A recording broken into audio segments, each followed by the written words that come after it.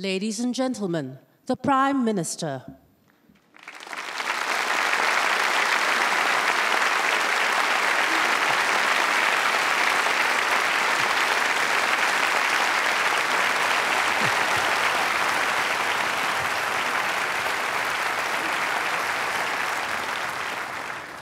Good evening and welcome back to ITE College Central. ITE was such gracious hosts last year that I decided to come again. But also, one of my themes this year is IT and poly students, their studies, their work, their careers, their future. So I think this is the right place to make the speech. But let me begin first in Malay as usual. Saudara-saudari sekalian, selamat Hari Kebangsaan dan selamat Hari Raya Aidilfitri. Ramadan lalu, saya dan isteri turun padang ke Gelang Serai untuk merasai sendiri suasana perayaan di sana. Tahun ini, hiasan lampunya sungguh bercahaya dan berwarna-warni. Menarik sekali saya gembira melihat pengunjung berpusu-pusu ke bazar. Saya juga berpeluang menyertai majlis iftar di Masjid Mujahidin di Queenstown. Masjid ini baru saja dibaik pulih. Cantik sekali. Ruang solatnya lebih besar, ada laluan bebas halangan untuk golongan kurang upaya. Bilik darjahnya pula moden. App iPhone pun ada. Masjid ini juga menampung jemaah dari karya Kampung Holland. Saya tahu jemaah Masjid Kampung Holland agak sedih meninggalkan masjid itu. Tetapi saya gembira kedatangan mereka disambut mesra oleh Masjid Mujahidin. Mereka sudah pun sesuaikan diri dengan baik di rumah baru mereka. Kerjasama dan pengorbanan seperti inilah yang kita inginkan untuk Singapura. Semangat ini ketara dalam diri generasi perintis kita. Apabila kita merdeka dulu, warga perintis Melayu sebenarnya ada pilihan dan anda telah memilih untuk jatuh bangun bersama Singapura. Pilihan anda ini telah membantu Singapura mekar menjadi sebuah masyarakat berbilang kaum dan agama yang unik yang bersatu padu dan harmoni. Terima kasih kerana yakin dengan masa depan Singapura dan bertungkus lumus dengan kaum lain untuk bangunkan Singapura.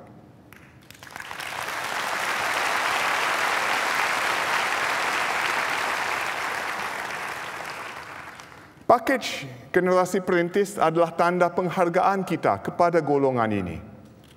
Bagi masyarakat Melayu Islam, MUIS dan Mendaki telah membentuk jawatan kuasa bersama generasi perintis. Ia dipengerusikan Speaker Parlimen, Puan Halimah Yaakob, dan disokong badan-badan Melayu Islam. Ia telah jalankan pelbagai usaha baik, misalnya membentuk sudut kongsi pandangan di Jujat Kompleks untuk mendekati golongan perintis dan keluarga mereka. Seorang, seorang perintis Melayu yang cemerlang ialah Encik Yusof Ishak, Presiden pertama kita. Saya gembira sekali Puan Nuraisha dapat bersama kita malam ini.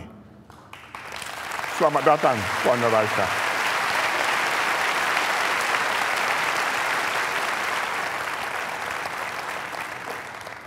Encik Yusof lahir di Perak tetapi membesar di Singapura. Beliau cemerlang di sekolah dan aktif bersukan. Beliau juga memulakan utusan Melayu, akhbar pertama milik orang Melayu, akhbar Jawi. Pada tahun 59, selepas Singapura memperoleh pemerintahan sendiri, beliau dipilih yang di Pertuan Negara. Kemudian, apabila Singapura menjadi sebuah republik, Encik Yusof menjadi presiden pertama kita. Saya kenal Encik Yusof sejak saya kecil. Bagi saya dan adik-adik, beliau peramah orangnya. Saya masih ingat lagi beliau juga suka merakam filem apabila Encik Yusof dan Puan Nur Rasha naik haji, beliau rakamkan pengalamannya. Pada masa itu memang jarang-jarang kita dapat lihat rakaman mengenai Makkah dan Kaabah. Selepas beliau pulang, beliau menunjukkan filem itu kepada kami dan menceritakan pengalaman mereka di tanah suci. Encik Yusof adalah seorang yang warak dan pada masa yang sama rapat dan mesra dengan rakyat bukan Islam. Beliau juga menyokong kuat dasar-dasar berbilang kaum kita. Encik Yusof yakin dengan prinsip meritokrasi bahawa semua orang harus diberi peluang saksama untuk majukan diri melalui usaha masing-masing. Beliau juga menyokong dasar-dasar untuk memodenkan masyarakat kita dan membolehkan masyarakat melalui Islam bergerak maju bersama-sama kaum lain. Sebagai Presiden, Encik Yusof telah mewakili Singapura dengan cemerlang dan berwibawa. Kita akan memberi tiga penghormatan di atas segala sumbangan Encik Yusof kepada Singapura. Pertama, sebuah masjid akan dinamakan atas nama beliau.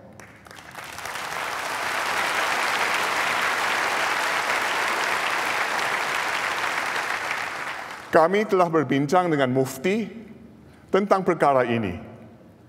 Anda sudah pun tahu bahawa sebuah masjid baru akan dibina di Woodlands. Jadi kami juga telah berbincang dengan jawatan kuasa pembinaan masjid baru ini dan keluarga Encik Yusof. Terima kasih Tuan Mufti kerana memberi saya penghormatan untuk mengumumkan nama masjid baru ini, iaitu Masjid Yusof Ishak.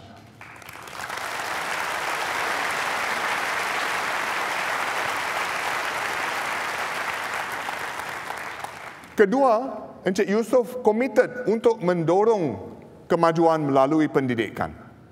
Beliau juga banyak menyumbang kepada hubungan akrab dengan negara-negara jiran. Sejajar dengan sumbangannya ini, kita akan menamakan Institut Pengajian Asia Tenggara atau ISIS atas nama beliau.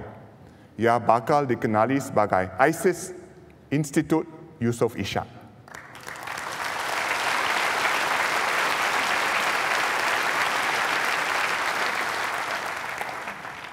Ketiga, kita juga akan memulakan kerusi Profesor Yusof Ishak dalam sains sosial di NUS. Pengumpulan dana akan diusahakan sebuah jawatan kuasa yang dilantik Dr. Yaakob Ibrahim. Inilah caranya kita memastikan agar generasi Singapura akan datang terus mewarisi kenangan, wawasan dan nilai-nilai yang dipegang teguh Encik Yusof Ishak. Puan Raisha, kami terhutang budi kepada suami anda atas segala sumbangan dan pengorbanannya kepada negara. Terima kasih.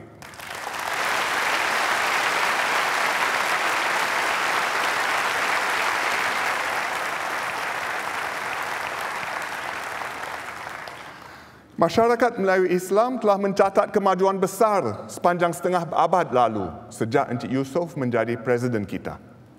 Tahun demi tahun, pendapatan keluarga meningkat dengan kukuh. Lebih ramai berpendidikan pos menengah dan kita kini ada lebih ramai PMET Melayu Islam. Setiap tahun, saya mencari contoh-contoh orang Melayu yang cemerlang dalam pelbagai bidang dan saya nampak satu trend yang ketara. Semakin banyak contoh yang membanggakan tahun demi tahun.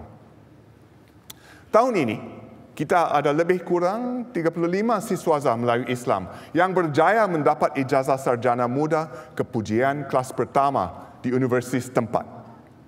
Dua daripada mereka menarik perhatian saya. Afzal Ali, graduan Sekolah Undang-Undang NUS dan secara serentak mendapat ijazah sarjana undang-undang dari Universiti New York. Afzal sedang mengikuti latihan guaman di firma ternama Allen and Gledhill. Yang kedua ialah Fauzia Ali, seorang graduan Politeknik Singapura dengan diploma sains bioperubatan. Beliau baru lulus dalam sains biologi di NTU dan kini Fauziah bertugas sebagai pegawai penyelidikan di Institut Biologi Molekular dan Sel A-STAR iaitu IMCB. Satu pencapaian yang mengagumkan. Syabas.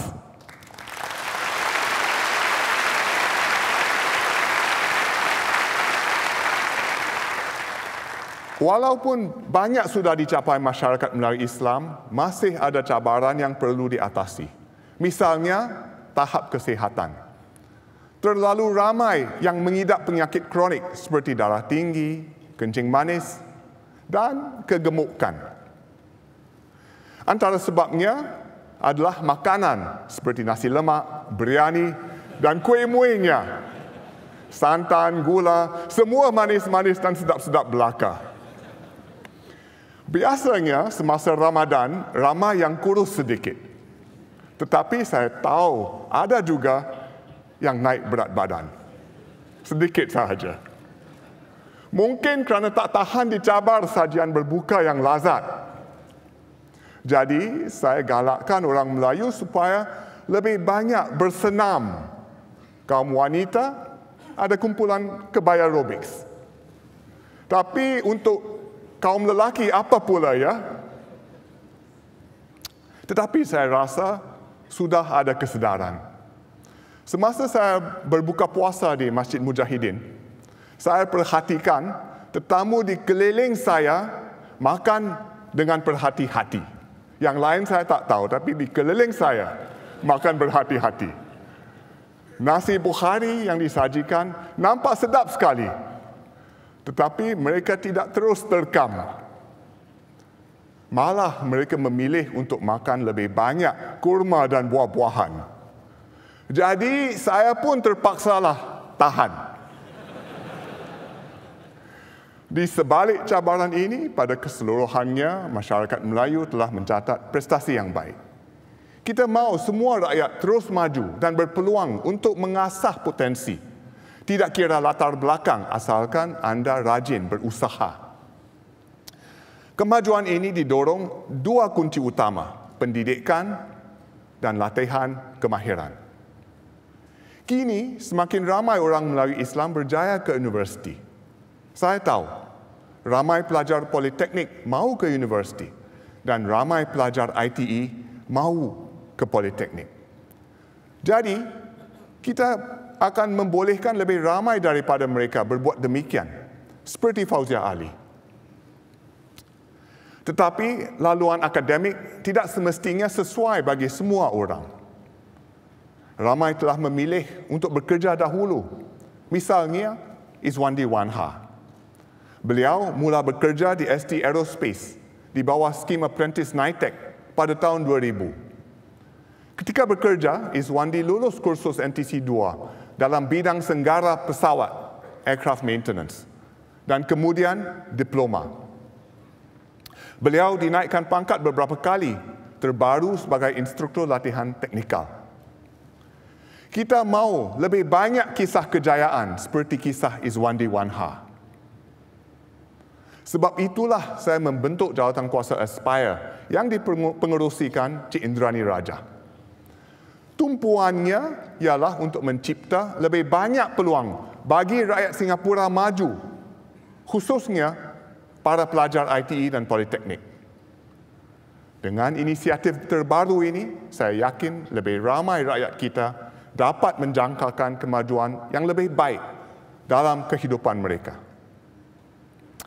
Dengan bekerja rapat, saya yakin kita akan terus maju Inilah caranya masyarakat Melayu Islam berkembang maju sepanjang 50 tahun lalu. Sedang negara bersiap sedia untuk sambut ulang tahun ke-50 tahun depan, marilah kita menjunjung semangat golongan perintis kita dan perkukuh masyarakat berbilang kaum kita. Marilah kita beri rakyat peluang sepenuhnya untuk mencapai potensi mereka dan marilah kita kuatkan komitmen untuk membentuk Singapura yang lebih baik lagi bagi diri kita dan bagi anak-anak kita. Terima kasih.